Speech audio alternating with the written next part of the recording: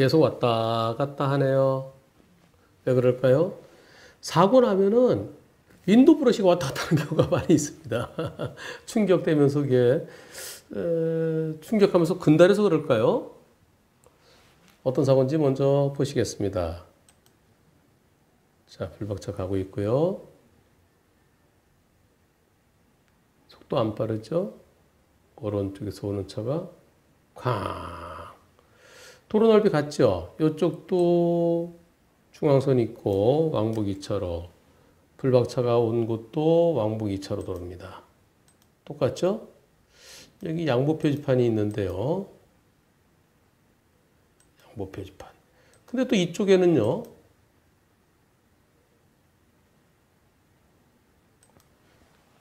이쪽에 또 양보 표지판이 있네요. 예. 그러면 이쪽에는 이쪽엔 또 오른쪽 뭔가요? 오른쪽은 철길이네, 철길. 여기는 뭐가?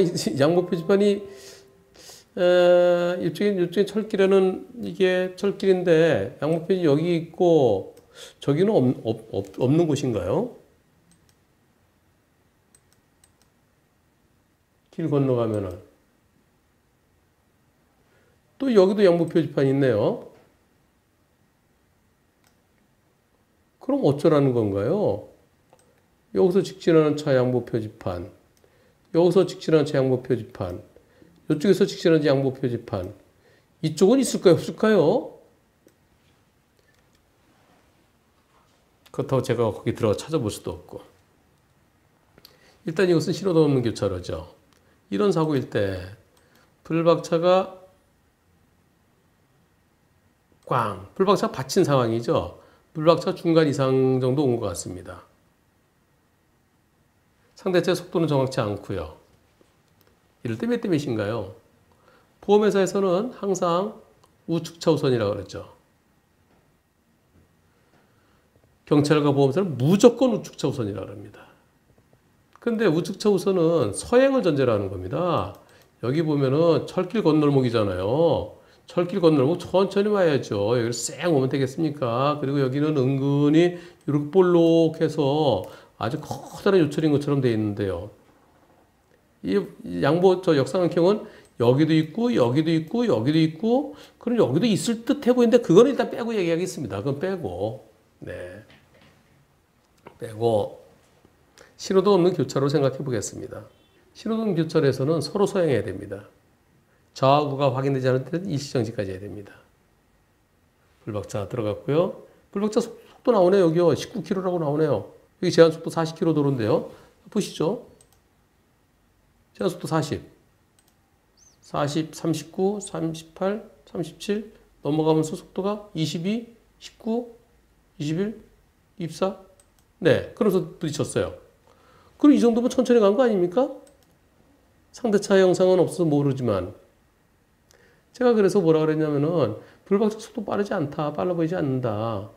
그래서 상대차가 상대차로 빠르게 온 것 같다. 그러니까 불박차가 아 물론 이게 빠르지 않더라도 아 불박 상대차가 브레이크 잡았으면은 이렇게 돌아갈까요? 상대차가 더 많이 잘못한 것으로 보인다. 근데 더 정확한 건 상대차 영상을 봐야 된다. 이렇게 예, 설명드렸습니다. 사고 난 상황이네요. 네, 저 차가 이렇게 와서 때렸네요. 그리고 이렇게 사고 났네요. 이 사건에 대해서 어, 저는 상대차가 더 많이 잘못했다는 생각인데 그런데 보험사에서는 요지부동하게 적어도 5대5이거나 상대차가 더 많이 잘못했다는 생각입니다. 브레이크도 못 잡았잖아요. 철길 건너면 걸어 건너오면서 그러면서 이렇게 건너오면서 그냥 브레이크도 못 잡고 때렸잖아요. 정확한 것은 양쪽 양쪽 영상을 봐야 됩니다. 여기에 대해서 근데요, 변호사님, 제가 할 수 있는 게 뭘까요? 라고 되어 있습니다. 제가 할 수 있는 게 뭘까요? 보험사에서는 제가 상대차가 우측 도로이기 때문에 제가 60, 상대차 40이랍니다. 6대 4랍니다.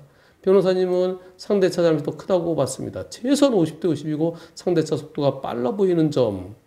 제가 소송 말고 뭘 할 수 있을까요? 같은 보험사 소송은 안 되고 분심이도 안 되고 개인적으로 소송하는 것도 참 이거 소송을 해야 될까요? 사고 내용은요. 어, 서행으로 신호등 없는 교차로를 진행하고 있었습니다. 서행으로 사거리를 오른쪽에 보이지 않았던 차가 감속 없이 브레이크도 못 잡고 들이받았습니다. 상대는 불, 우측 차 우선을 적용합니다. 상대는 블랙박스 영상을 제출 안 했다고 합니다. 둘 다 같은 보험사인데요. S화재. 이거 모자이크 해야 될까요? 말아야 될까요? 근데요, 이거 모든 보험사가 다 똑같이 얘기하니까요. 이거 안 해도 되죠. 뭐 경찰과 보험사는 모든 경찰과 모든 아니 모든 경찰은 아니고요. 경찰 경찰 중에 경찰 중에 다수와 보험사는 대부분의 보험사가 우측차 우선을 적용합니다. 그러니까 이게 S 화재의 문제가 아니에요. 예, 그건 모든 보험사라니까요. 제가 이것은 저 모자이크 처리 안 해도 되겠죠. 제가 설명하고자 하는 것은 바로 이겁니다. 제가 분심이 그 과실 인정 못하겠다. 상대편 영상도 봐야 되는데요. 상대편 영상도 봐야 되겠는데 자 보세요. 경찰관과 통화를 해보니까 선진임 여부 관계없이 우측이 무조건 우선이며 불법차 가해 차량이다. 네. 대부분의 경찰관과 보험사 직원은 무조건입니다. 무조건. 음, 여기 뭐 조금 먼저 들어간 선진입 적용은 아니고요. 속도가 중요합니다. 속도. 나는 천천히 상대는 빨리. 그러면 빠른 쪽이 6, 70 또는 그 이상이 될 수도 있는 거죠. 상대가 속도가 더 빨랐던 걸 전제한 겁니다. 나는 시속 20 정도로 천천히 들어갔고 상대가 더 상대적으로 빨랐던 걸 전제해서 상대차가 70%까지 가능하다는 60, 70% 가능하다는 겁니다. 또는 나는 가다 브레이크 잡는데 상대는 브레이크도 못 잡았을 때 그러니까 상대차가 더 많이 잡았다는 겁니다. 실질적 판단이 형식적 판단이냐죠. 분심이 분심이 신청해달라 했더니 같은 보험사기 때문에 분심이 안 된다. 금감원의 과실 비율과 당사자 간 분심이 신청 여부에 대해서 민원 신청했는데 분심이 안 된답니다. 그래서 내부에서 법률 질의를 통해서 과실을 다시 한번 판단해 볼 테니까 금감원, 금감원의 민원 취하를 적용 요청하고 있답니다. 같은 보험사끼리 여전히 분심이 신청이 안 되는지요. 같은 보험사끼리요. 같은 보험사끼리 분심위에서 하기로 했었어요. 작년 작년 7월인가요? 그때 뉴스에 나왔습니다. 이제 앞으로는 올 상반기부터는 같은 보험사끼리도 분심위에서 과실 비율을 판단해 주겠다. 그래서 예전에는 구상금 분쟁심의위원회였던 것이 과실 비율 분쟁심의위원회로 이름까지 바꾸면서 근데 아직까지 안 된대요. 안 되는 이유가 여기 있습니다. 그걸 설명드리는 겁니다. 아주 좋은 정보를 오늘 저도 알았습니다. 변호사님 안녕하세요. 조금 전에 금감원 민원에 대해서 손보협회에서 연락이 왔습니다. 금감원에 민원 내면은 손보협회로 넘어갑니다. 현재 공정거래위원회에서 승인을 안 하고 아 금감원에다 금감원에서 손보협회로 어, 사실조회를 하죠. 그래서 손보협회로 넘어갑니다. 손보협회에서 연락이 왔는데요. 다 그런 건 아니겠죠. 근데 대부분이 그런 것 같습니다. 현재 공정거래위원회에서 승인을 안 하고 있어서 당분간 분심위에서는 같은 보험사를 못 한답니다. 금감원에서는 그렇게 하고 싶었는데 근데 공정거래위원회에서 승인을 안 해준다네요. 따라서 당사자 간 같은 보험사는 소송도 안 되고 분심이도 안 되고 그래서 제가 할 수 있는 거는 손해보험협회에 조정 조정을 신청해 보시죠. 아니면은 같은 보험사니까 보험사에서 외부 법률사무소에 질의한 후 그래서 그 결과를 보고서 다시 한번 협의해 보시죠. 아니면은 본인이 소송하시죠. 그런데 1번, 2번은 상대편이 거부하면 할 수 없다고 그럽니다. 결국 소송하든지 말든지 둘 중에 하나입니다. 소액 소송하면 비용, 스트레스 모든 걸 감안하면 개인 소송을 해야 될까요? 어떻게 해야 될까요? 하여튼 여기서 여러분들께 전달해 드리고자 하는 것은 같은 보험사끼리 올 상반기에 된다고 그랬는데 그리고 4월쯤이면 된다고 얘기를 했었어요. 예상을 했었어요. 근데 아직도 안 됐답니다. 공정거래위원회에서 승인 안 해줬답니다. 그게 빨리 승인이 떨어져야 같은 보험사끼리도 분심이 갈 수 있죠. 아직은 못 간다는 겁니다.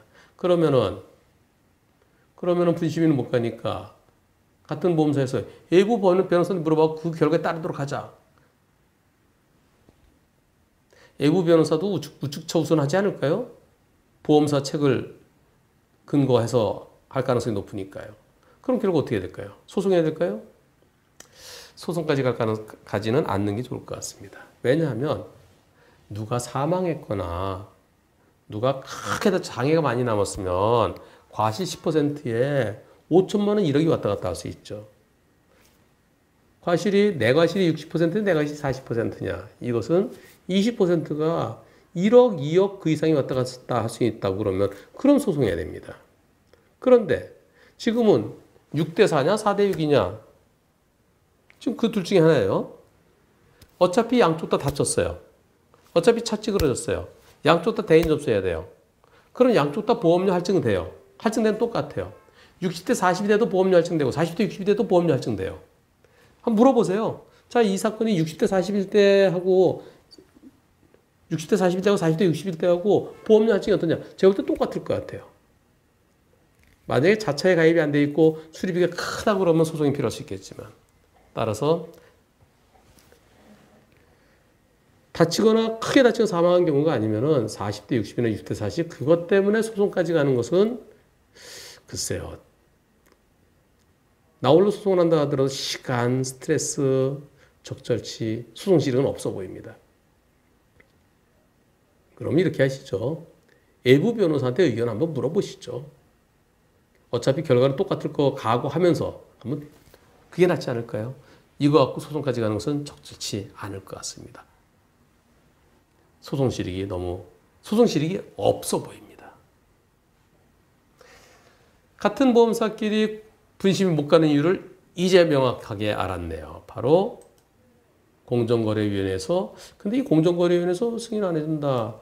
아 보험사들끼리 담합할 담합하는 할 가능성이 있다.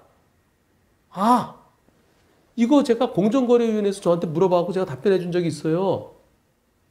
예.